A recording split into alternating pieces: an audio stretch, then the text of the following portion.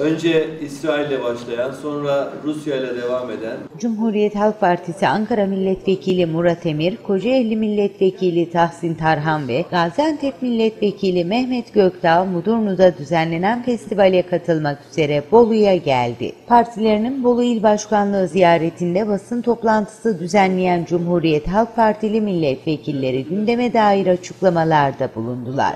ülkenin bugün içinde bulunduğu terör belasının da ülkenin bugün içinde bulunduğu ekonomik sıkıntının da siyasi sıkıntının temeli AKP iktidarı. Hesap sormalı. Gaziantep Milletvekili Mehmet Gökdağ, Suriyelilere vatandaşlık hakkı verilmesi çalışmalarını eleştirdi ve ülkenin geldiği durumun sorumlusunun Adalet ve Kalkınma Partisi iktidarı olduğunu söyledi. Bizim yoksulumuz var. O mu azalacak? Bizim evsiz olanımız var. O mu azalacak? Bu 3 milyon insana Türkiye Cumhuriyeti vatandaşlarını vermekle kime ne yarar sağlayacaksınız? Bunu bir anlamamız gerekiyor. Değerli arkadaşlar. Bu anayasamıza aykırı. Bizim vatandaşlık yasamıza aykırı. imza attığımız uluslararası sözleşmelere aykırı bir durum. Şimdi böyle olunca keyfi bir tutum şu saf haklılık kazanıyor. AKP seçmen. Şimdi bu haklılık kazanıyor. Başka bir neden varsa söylesinler. Kocaeli Milletvekili Tahsin Tarhan da Türkiye Büyük Millet Meclisi'nde Osman Gazi Köprüsü ile ilgili soru önergesi verdiklerini hatırlatarak köprünün yapılmasına değil yap işlet devlet modeline karşı olduklarını söyledi. Körfez geçişi yapıldı. Eskisar Sabah, Topçular, yüzlerce esnaf var. Ne olacak kimse düşünülmedi. Kaç tane gemi çalışıyor? Bu gemiler ne olacak? Kimse düşünmedi.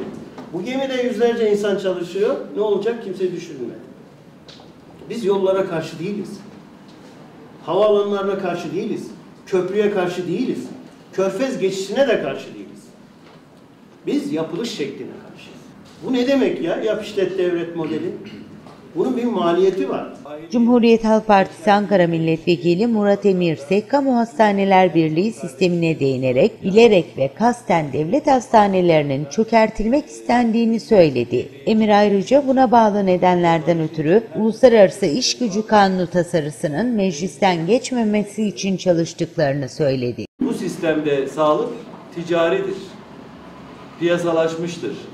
Temel bir hak olması gereken bir e, konu ve anayasamızda da sosyal devlet ilkesinin temel gereği olarak sağlık hizmetinin herkese eşit ve nitelikli olarak dağıtılması gerektiği devletin temel göreviyken artık bir piyasa malıdır ve özel sektöre teşvik edilmiştir. Bu nedenle de kamu hastaneciliği çökertilmiştir. Şimdi Bolu'ya buradan bakmak gerekir. Bolu'da da Türkiye'nin birçok yerinde de devlet hastaneleri bilerek çökertilmiştir.